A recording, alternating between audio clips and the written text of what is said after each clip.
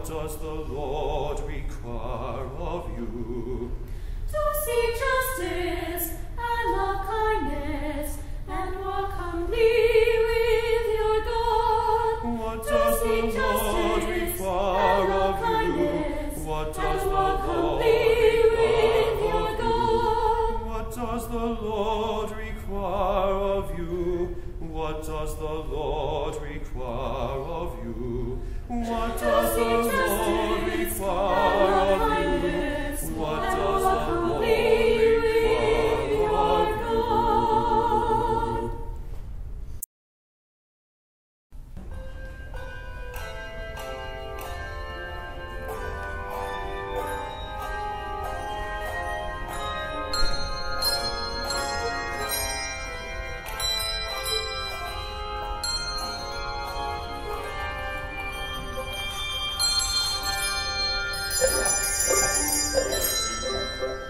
Thank